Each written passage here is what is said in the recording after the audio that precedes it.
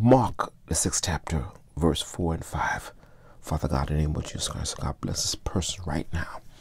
Oh God, that listening to this message on miracle. Oh God, give them a miracle, a miracle that they are saved, a miracle that they know the Savior, and a miracle that they get invitation to have the Savior into their life. Bless this person right now. In Jesus' name I pray. Amen. Mark, the sixth chapter, verse 4 and 5, and it read, Hey, glory to God. Uh, uh, uh, um, Mark, the sixth chapter. Hey, glory to God. Welcome to Life Journey, Glory Church International. I'm your host, Theophilus Fernandez. Mark, the sixth chapter, verse number 4 and 5, and it read, But Jesus said unto them, A prophet is not without honor, but in his own country and among his own kin and his own house, and he couldn't and he could there do no mighty work, save that he laid his hand upon a few sick folks and healed them. And he marveled because of their unbelief. And he went around about the village teaching. He go to God. Let me read again, my friend.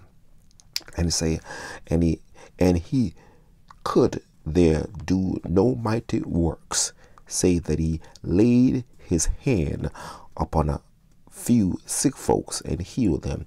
And he marveled because of their unbelief. And he went and he went around about the village teaching.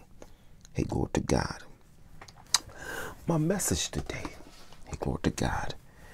And this, I believe this is part two of what, what happened.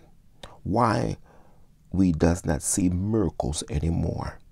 Why we does not see miracles anymore. What is a miracle?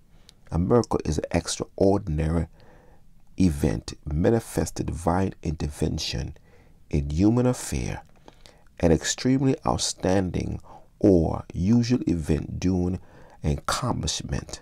That's by uh, the Webster Dictionary definition. Now we see that 10 miracles happen in the book of Glory to God, Exodus. We that the first miracle Jesus did in, in, in John chapter 2, he turned water into wine. And there are many more miracles. But today my, my assignment is to tell you why we does not see miracles anymore. And there are 10 reasons. Hey, glory to God. And the number one reason, and we see that in, in it say that he couldn't do no miracle because of their unbelief. So number one is we don't have faith. Glory to God. So miracles can manifest. We don't have faith. So miracles can manifest. The Bible say their unbelief. See, your unbelief stop God. Yes, your unbelief. Because the Bible say, this is the Bible say, the Bible say, hey, glory to God, in Hebrew uh, uh, 11 chapter verse 6 it say without faith it's impossible to please god he that cometh to god must first believe that he's a rewarder of them that diligently seek him and the bible say have faith in god that's number one number two we don't find god as a creator we serve idols. What? We don't find God as a creator. We think God is not a creator. We think God is just a fable. But God is a creator. He glory to God. He's almighty. He glory to God. He's the God that made everything. The Bible say in Genesis verse 1 and, and 1, he said, In the beginning God created heaven and the earth. Number three, we see we see God as a fantasy thought. That's what the Bible said. Cast down high imagination and everything that against the knowledge of God. So we can't see God as a as a fantasy thought. Number four, we see we are in financial gain, then want to see supernatural. Yes, we want financial gain. So what we do, we fake it. Yes, we fake it to make it. Hallelujah. Hallelujah. Glory to God. And that's number five. We fake it with earpiece in in the preacher ear. and then you you you saying things that you know ain't right, fooling people, you duping people and bamboozling people. Number six, we trust in we trust in the Heavenly Father. What we do now, we believe in miracles. I believe in miracle. Hey, glory to God. We trust in the Heavenly Father who art in heaven. Number seven reason, salvation is the feature purpose of the supernatural. Yes, salvation is is is uh, the, the feature purpose of the supernatural. Number eight, God does not have to prove facts that he exists. What? God don't have to prove, prove nothing to nobody that he exists. So miracle, glory to God. The Bible say, oh foolish and and and wicked generation seek a sign. The only sign gonna give you is a sign that we of Jonah and being a sign of the earth for three days and three nights. So God don't to prove nothing to you that He exists. Number nine, the false prophet. What I say? The false prophet are on the rise with this, with signs and wonder. My friend, last day, that's what the Bible say. Go to God, let no man deceive you by any mean. Why? Why? Why? Because they're gonna come with signs and wonder. Look at the look at the book of Revelation, the 13th chapter. Read on your spare time, my friend. There are many people, my friend, gonna be deceived because of signs. They're gonna be deceived because of signs and wonder.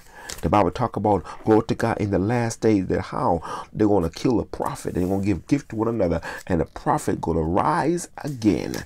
Hey, glory to God. So I'm telling people, my friend, don't be don't be shocked or don't be be surprised by they no more no miracles in this land because miracles still happen.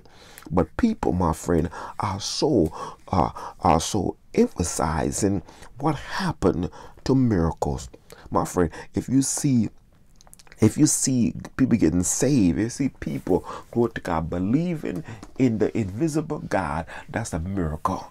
Hey, glory to God. So God don't have to prove nothing to nobody. He's God, and He'll need you to verify that He's God.